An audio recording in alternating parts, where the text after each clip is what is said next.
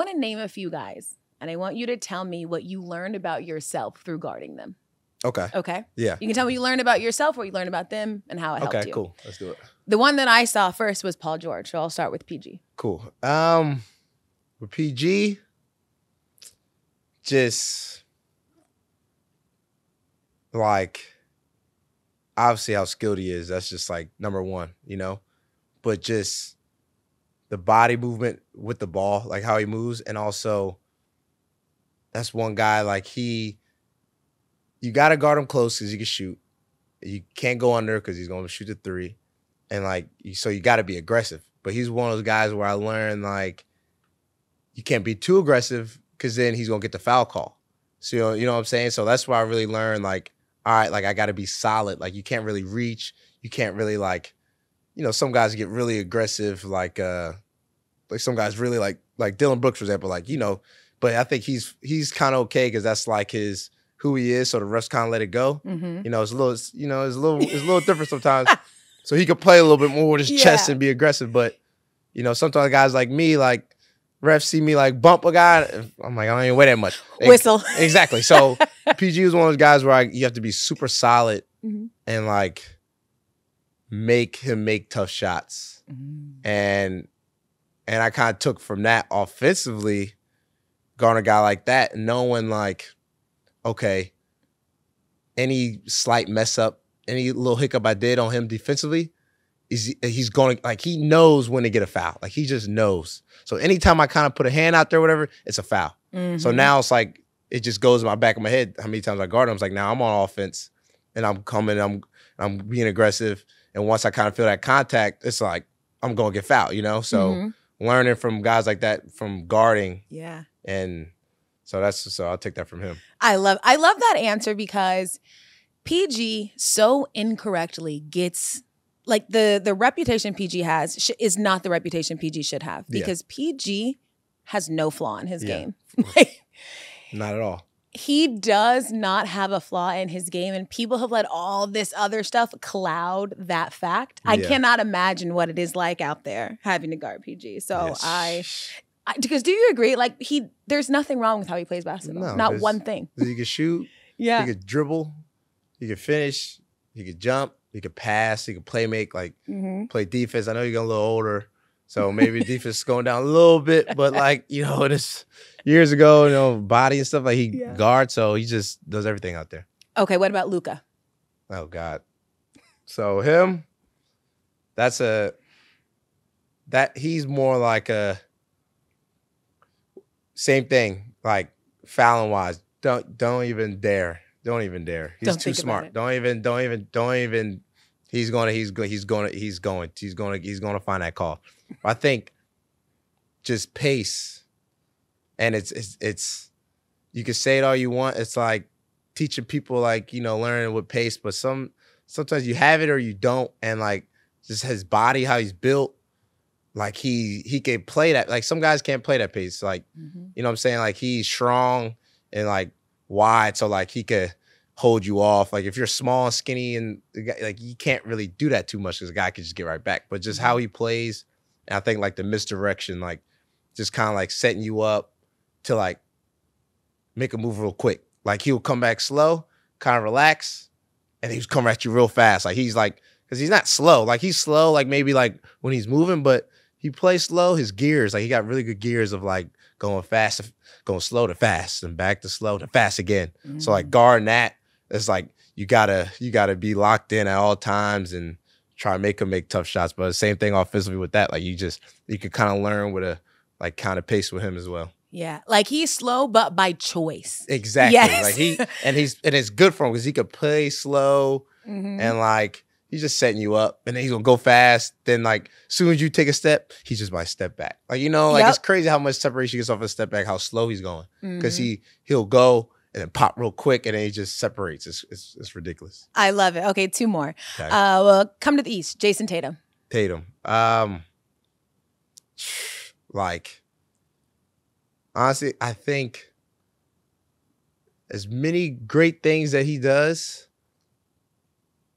like I think what I take away from him is probably his finishing. I think he finishes really well. Like he's crafty. Like he like he you see some of his finishes he does, like he's he's real crafty. Like sometimes like you might be able personally, like you play basketball your whole life and you might have like an easy like layup, like you might take a step a little too far Mhm. and go reach for a layup. He's kind of smart where like he'll make all these dribble moves and then get to the rim and then take like one more dribble where he's already kind of there. So it missed it makes the the timing for the guy that's getting back to go block or the weak side. Like he'll he'll move, move, move, and then get there. So now you think he's about to take off because he's like he's six nine. Like you think he's about to just go lay the ball up or dunk it. Then he just like takes like kind of like one more dribble. so he gives himself two more steps, and then he just like so that. But I see you playing it in your head. You're exactly, Like, yes. exactly. but I think for him, just just uh even offensively, just his game, like setting things up, like setting the pick and roll up. Mm.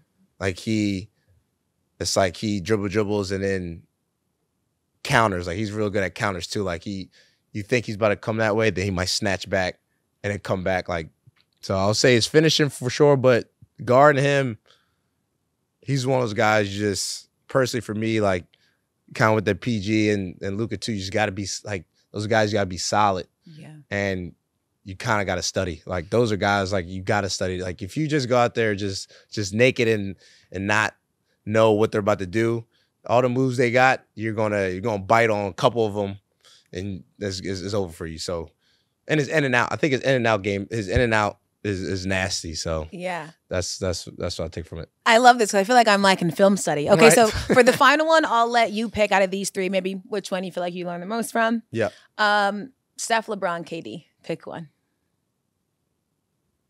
Man. I'll probably I'll probably I'll probably go with Steph.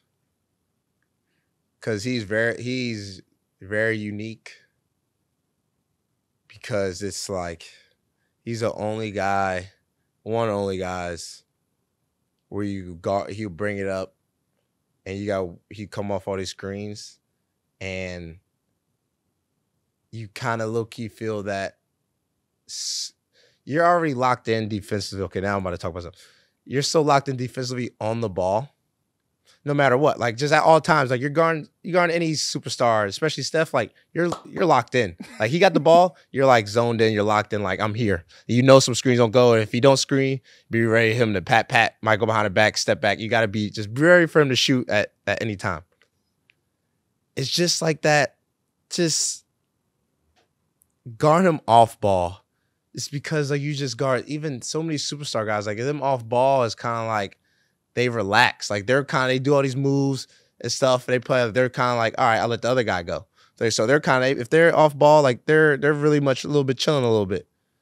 But I think that makes them just so much more lethal is because you're used to just like all right like I just guarded this dude for 10 12 seconds up on top of the key. He didn't get a shot off. Like thank God like he didn't make so he passed the ball go away that second you and you like look to see like what's happening on the other side of court, you look back, he is gone. Like he is gone. And everybody on his team knows it. So it's like you turn and you lose him, you're starting to chase him, and everybody's setting their angles where you can't go over, or like if you go under, like they're flipping it. So they're they're just he's just nonstop. So Yeah. he's the most unique with like you with it's easier to play on ball with him because like as a defender like as anybody else like it's it's easier to relax off ball than on ball you know because on ball you're right here like you see it so you have to be engaged. Off ball you can relax. So once you relax he's gone. So Yeah. that's what makes him so difficult and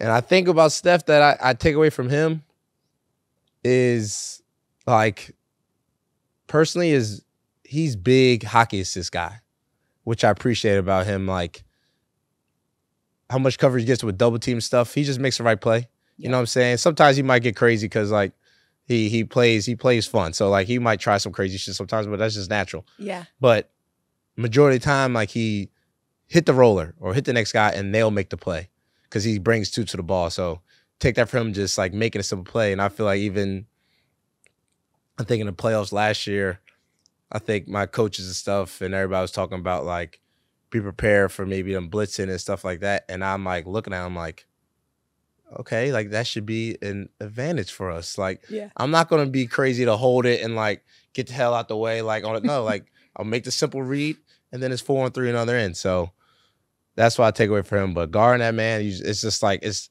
that's like a 24 shot clock. Totally. Like you just got to be at all times be be prepared because once you get off the ball, it makes him even more lethal. Something you said that's interesting is how, you know, he relaxes. I feel like that is so intentional by him. Yeah, Do, do you agree? Like he he understands that it might be taken as though he's chilling in that moment. and then and he's Yeah. gone. And he- you he's just gone. throw it and cut. yeah.